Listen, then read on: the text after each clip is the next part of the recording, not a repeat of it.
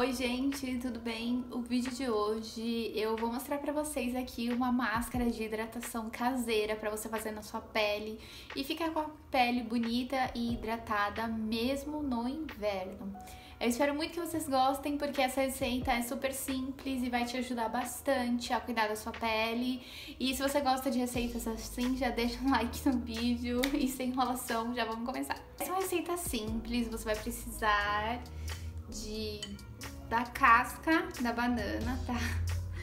É, somente a casca, porque a casca, a banana em si, né, ela tem várias, além de todas as vitaminas, ela tem potássio, que é extremamente importante para a hidratação da pele. É, também uma colherzinha de mel. E se você quiser, você pode adicionar canela. A canela é antioxidante, tem várias propriedades que também cuidam muito da pele e enfim. Então, gente, é, o que a gente vai fazer é raspar essa parte aqui, ó. A gente acrescenta aqui um pouco de mel.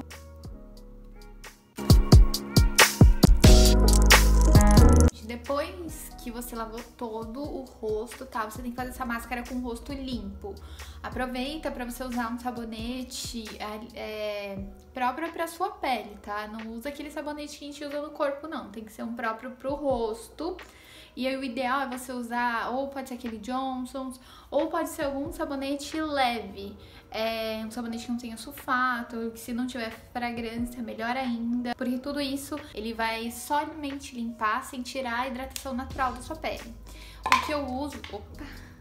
O que eu uso aqui é esse da Flora Fiora. Ele é totalmente natural ele não tem sulfato, ele não tem fragrância, ele não tem essência, nada. É somente para fazer a limpeza mesmo. Eu venho aplicando com essa espátula de madeira mesmo.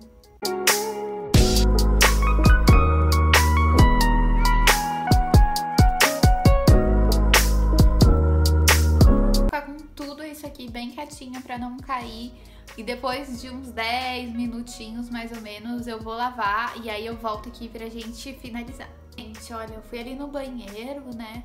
Passei um pouquinho assim a máscara e fui tirando os pedacinhos que estavam maiores. É muito importante falar pra vocês isso. Façam perto do banheiro, na pia do banheiro, caso caia alguma coisa. E não fica esfregando com força, porque senão você vai acabar irritando a sua pele, tá? É normal você sentir o rosto esquentar um pouco, porque a máscara tá agindo. Mas se você sentir pinicar muito e tal, aí você lava na mesma hora. Só que ele dá uma aquecida mesmo, porque, porque a máscara tá agindo na pele. Gente, ó, nem sequei aqui, tá? Só pra vocês verem. Que a pele fica um pouquinho vermelhinha, é normal, tá? Por conta da canela, que faz meio que uma esfoliação bem leve, porque o pozinho é bem fino. Mas assim, o que a pele tá macia. Nossa, vocês não têm ideia. Sério, façam que vocês vão ver toda a diferença. Agora, para terminar essa hidratação, a gente vai aplicar, você pode aplicar ou um hidratante ou um óleo.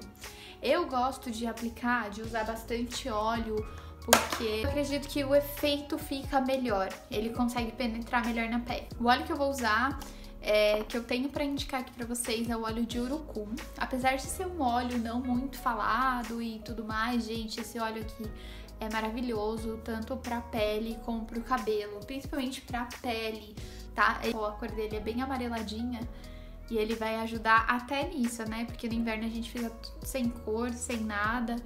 Então, até nisso esse óleo ajuda.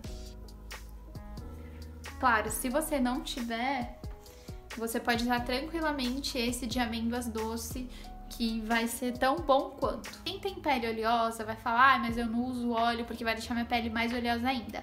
E não, tá? Eu já vou falar pra vocês que oleosidade da pele e óleo é totalmente diferente, tá? Às vezes a sua pele ela acaba sendo até oleosa por falta de hidratação. Mas em todo caso, gente, o fato de você usar um hidratante ou um óleo não vai deixar sua pele mais oleosa, tá bom? Essa é a nossa máscara caseira que deixa a pele, olha, o brilho e a maciez que ela tá. Vocês não estão entendendo como tá macia e lisinha, gente, juro. Então é isso, gente. Espero muito que vocês tenham gostado. Se você gostou, deixa um like no vídeo, né? Pra mim saber, fazer mais receitas aqui. Se inscreve no canal e se você quiser também me acompanhar lá no Instagram, tá bom? Beijos e até a próxima!